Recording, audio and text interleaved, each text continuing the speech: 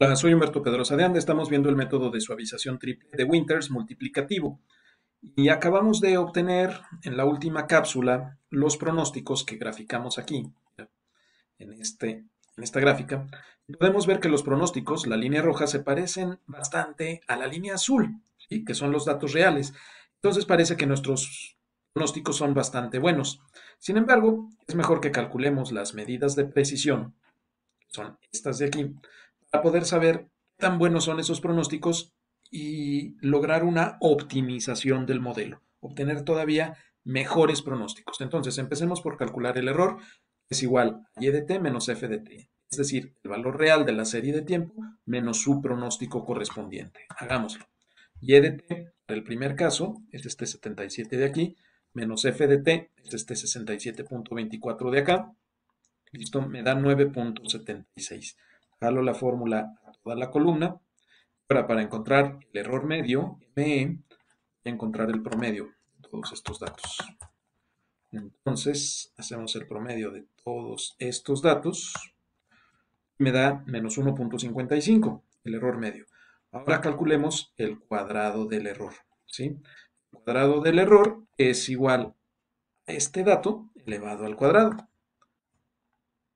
y ahora jalo la fórmula a toda la columna y luego encuentro el promedio, jalando la fórmula de la izquierda hacia la derecha y me da 123.95. Ese es el MSE, el error cuadrático medio. Ahora calculemos el error absoluto. Tengamos el valor absoluto del error que está acá en esta columna con la fórmula AS. Y jalamos la fórmula a toda la columna. Y ahora encontramos el promedio de toda la columna nos da 8.82. Ese es el MAD, la desviación absoluta media. Ahora calculemos el porcentaje de error absoluto. Sería el valor absoluto del error, este dato de aquí, dividido entre el valor real de la serie, y de t. Entonces sería este 77 de acá. Me da 12.67%.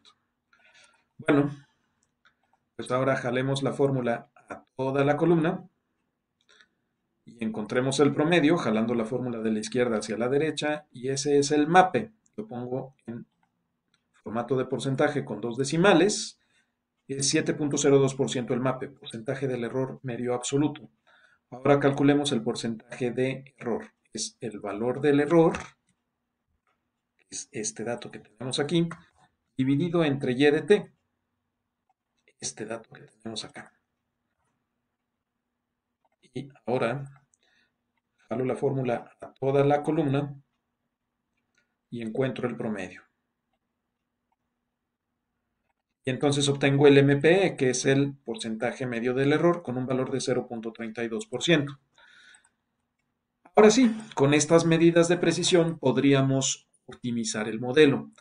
¿Qué valores de alfa, beta y gamma que utilizamos en este modelo nos arrojarían valores mínimos aquí en las medidas de precisión. Bueno, pues utilizaremos el solver para poder encontrar esos valores óptimos de alfa, beta y gamma. Vamos a data, vamos a solver y voy a borrar toda la información que aquí aparece. Y ahora vamos a poner como objetivo de este modelo minimizar el MSE, ¿sí?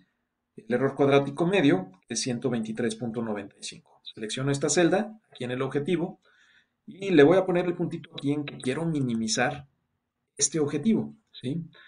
cambiando los valores de algunas celdas de alfa, beta y gamma. Entonces voy a poner aquí en, este cuadro los valores de alfa, beta y gamma. ¿Y cuáles son las restricciones a las que están sujetas eh, las celdas de alfa, beta y gamma? Vamos a añadir restricciones. Bueno, pues resulta que alfa, beta y gamma las seleccionamos y vamos a pedir que esos valores sean mayores o iguales que cero. Y luego añadimos otra restricción. Estos valores de alfa, beta y gamma tienen que ser menores o iguales que 1. ¿sí? Y oprimimos OK. Y bueno, aquí tenemos ya las restricciones a las que están sujetas los valores de alfa, beta y gamma.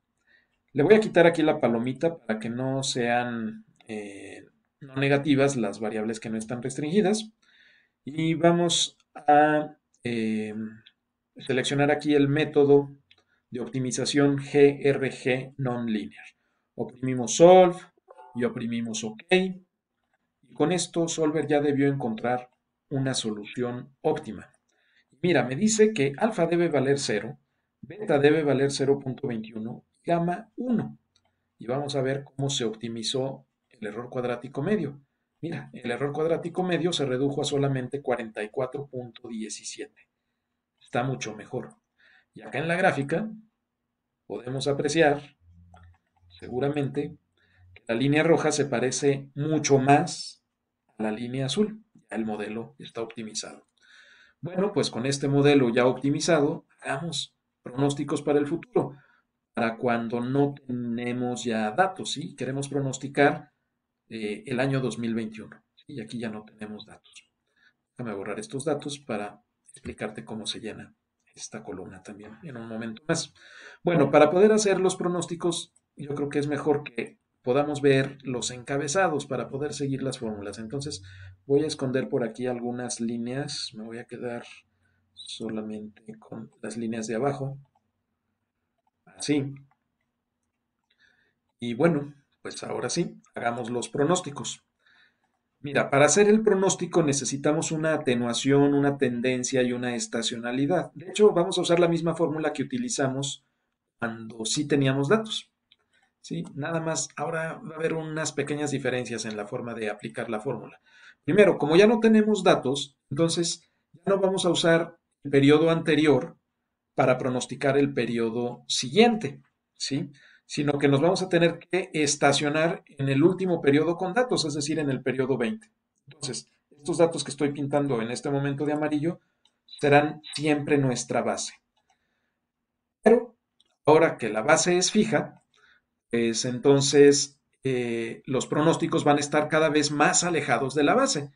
Y el parámetro P que utilizamos la fórmula va a indicarnos qué tan lejos estamos de la base, ¿sí?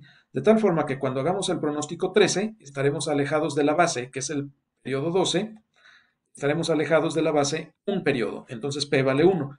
Pero luego en el periodo 14 estaremos alejados de la base, el periodo 12, dos periodos, entonces P vale 2. Luego, el periodo 15, la base estará lejos tres periodos del pronóstico. Y por último, cuando hagamos el pronóstico para el periodo 16, ese pronóstico estará alejado cuatro periodos de la base y por lo tanto P va a valer 4. Ahora sí, con todos estos valores podemos hacer nuestro pronóstico. El pronóstico sigue la siguiente fórmula. Es igual a la atenuación de T, pero ahora será la atenuación del periodo 20, ¿sí? vale 20, más el valor de P, en este caso P vale 1, multiplicado por la tendencia del periodo base, que es el periodo 20, 5.47, y todo esto se debe multiplicar por una estacionalidad, que está también en un periodo hacia atrás. Pero ¿cuál estacionalidad debemos tomar? Bueno, pues una estacionalidad que esté alejada justo un ciclo completo de nuestro pronóstico. Y si en este momento, en esta serie, estamos utilizando una longitud de, 4, nuestros datos tienen una estacionalidad de 4 periodos, entonces debemos utilizar la estacionalidad que viene en esta columna, 4 periodos hacia atrás. Entonces, si estoy aquí en este renglón, me voy 4 hacia atrás, 1, 2, 3, 4. Es este 0.92 de aquí. Y con eso ya tengo el pronóstico del periodo 13. Eh, el trimestre Q1 2021. Decimos que vamos a vender 140 juguetes, ¿sí? Bueno, ahora, para eh, hacer los pronósticos de los demás periodos, ya no tengo que repetir otra vez la fórmula, mejor me voy a fijar eh, aquellas celdas que ya no se van a mover. Mira, no se va a mover la celda de eh, la atenuación, ¿sí? Entonces la celda de 27 debe ser fija. Entonces le voy a poner con función F4 los signos de pesos para que se fije. ¿sí? Y tampoco se debe mover la celda de la tendencia, es la celda E27. Entonces aquí en la fórmula fijo la celda E27. ¿sí? Esos valores son fijos, nada más esos. El valor de P que está eh, aquí en la columna G, ese sí se va a ir moviendo. Pues va a valer 2, 3 y 4. Igualmente, eh, la estacionalidad se va a ir moviendo también un renglón hacia abajo. Entonces, aquí la celda F24, después será F25 y después F26, sí se debe mover. Entonces, esa celda no la fijo. Doy Enter. Y ahora esta fórmula la copio en toda la columna y con eso obtengo todos mis pronósticos para los periodos 13, 14, 15 y 16. Ahora ya nada más nos falta armar un intervalo de confianza a este pronóstico. Seguimos la fórmula que ya conocemos. Es igual para el límite inferior del intervalo de confianza, es igual al pronóstico, menos un cierto valor de z que obtenemos con la fórmula norm.es.ind, abrimos paréntesis e introducimos un valor de probabilidad acumulada para el intervalo de confianza que deseamos armar. Yo quiero armar un intervalo de confianza del 95%, por lo tanto la probabilidad acumulada que debo eh, insertar aquí es de 0.975. ¿sí? Y cierro el paréntesis. Y esto lo multiplico por la raíz cuadrada de la desviación estándar. ¿sí? Perdón, la raíz cuadrada de la varianza, que sería eh, el MSE. Entonces sería por la raíz cuadrada del MSE, que sería este 44.17 de aquí. Y cerramos paréntesis y oprimimos Enter. Para poder copiar la fórmula en el resto de la columna, solamente hay que fijar el valor del MSE, que es esta celda N28 en mi caso, con función F4 la fijo, primo Enter, y ahora copio la fórmula en toda la columna. Ahora, para poder hacer el cálculo del límite superior del intervalo de confianza, en esta otra columna, utilizaré exactamente la misma fórmula, nada más que en lugar de utilizar el signo de menos aquí, será con un signo de más. Entonces copio la fórmula, control C, luego primo escape, me posiciono en la celda donde quiero copiar la fórmula, hago doble clic y luego primo control V para pegar la fórmula y ya después le cambio el signo. En lugar de ser un menos, va a ser un más y oprimo enter. Y ahora esta fórmula la jalo a toda la columna. Y con eso tengo ya el límite superior del intervalo de confianza. Vamos viendo cómo lucen estos cálculos en la gráfica. Voy a hacer visibles nuevamente todas las líneas. Y vámonos a la gráfica. Y bueno, pues aquí está. Aquí tenemos ya todos nuestros pronósticos. Déjame hacer un poco más pequeña la gráfica para que se vea completa. Eso es. Aquí podemos apreciar entonces cuáles son los pronósticos para el periodo Q1 2021, aquí para el Q2 2021, luego aquí para el Q3 2021 y finalmente acá el Q4 2021. El límite inferior del intervalo de confianza es esta línea punteada negra y el límite superior es esta línea punteada negra de arriba. Entonces el pronóstico quedó aquí en medio como la línea punteada verde. Y bueno, pues este es el método de Winters en su versión de modelo multiplicativo. Espero en más cápsulas para ver el siguiente método, que será también el de Winters, pero ahora será el modelo aditivo. Gracias por tu atención. Hasta luego.